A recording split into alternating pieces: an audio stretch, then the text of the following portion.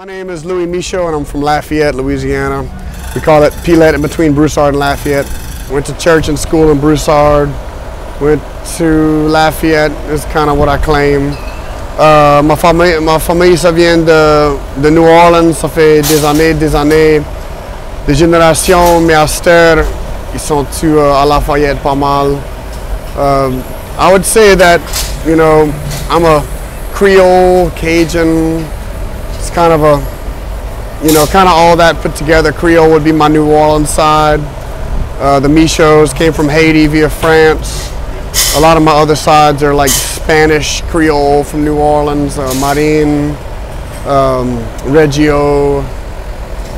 And uh, my Michot ancestor left New Orleans because of uh, because of his lungs, because of the air pollution with the coal and all that in the 1800s.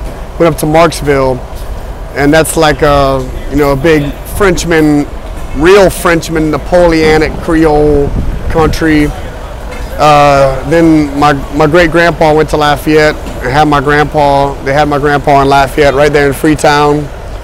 And uh, my grandpa was the first generation to not be allowed to speak French. Everyone before that was French was the first language, and a lot of them learned English. Uh, they, uh,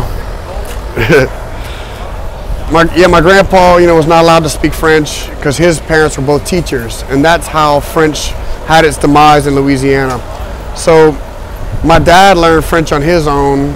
I learned French on my own. My grandpa, who died last year, uh, spoke a little bit of French. You didn't teach your kids French because it was, you know, teaching them a lower class language and how to be poor, you know, and how to not be American.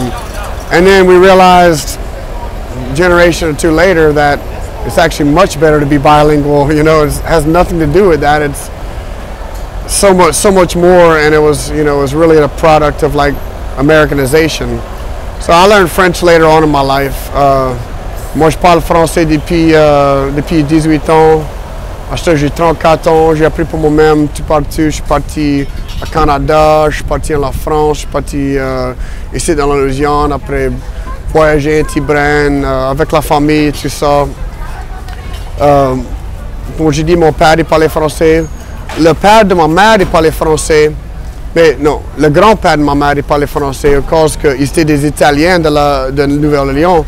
Mais à cause que c'était pas cool d'être italien, ils, se croyaient comme des Français. Ils se présentaient comme des Français. Ils changeaient le nom de Giuseppe Melatello à euh, Frank, Frank Melleton.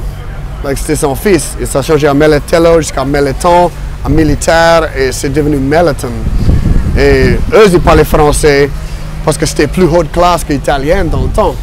Mais euh, comme ça, moi, je parle français parce que je voulais juste comme reconnecter avec, avec mes racines. Et pour moi, c'est naturel de parler en français. C'est quelque chose qui, qui, est devenu comme très vite quand j'ai commencé à parler. C'est comme c'était naturel. Même si ça fait des générations qu'on n'a pas parlé à la maison, tu connais. Et ma femme, c'est comme la même, la même histoire. Ma femme, elle vient d'un petit village qui s'appelle la Ville Plate. Et euh, son grand-père à, elle, il parlait français juste pour le business parce qu'ils avaient un magasin là-bas à la Ville Plate. Ils vendaient des choses et il fallait parler français là-bas. Mais son père à lui, ça parlait que de français. Et pour elle, c'est la même chose que moi, que la génération, ça fait. C'était comme, c'était comme basse classe, c'était low class de parler en français. Et eux, c'était des, créoles aussi. Et euh, Cajun, c'était basse classe. Et créole, c'est devenu haute classe. Mais à c'est plus de racisme, c'est plus comme créole, c'est noir et Cajun, c'est blanc.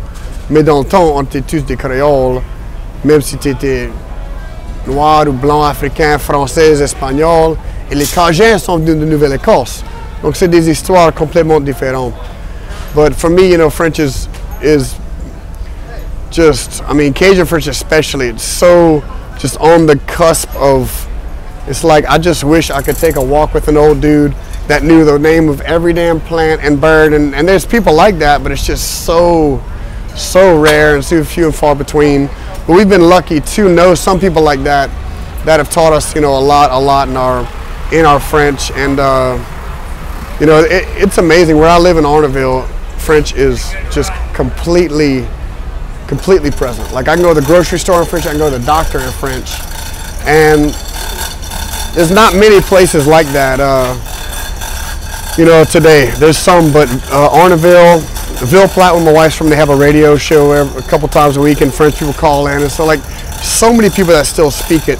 People are just coming around to realize the importance and that it's not a lower class thing, you know. So it's something that I connect with just very deeply. Musically, I write all my stuff in French. You know, I don't write in English and translate it. It's a, it's a poetry. It's a, it's a lyric language. You know, and uh, and uh, it goes with the rhythm of the music too. You know. So. Merci. Fantastic. So just before we wrap, Yeah, yeah.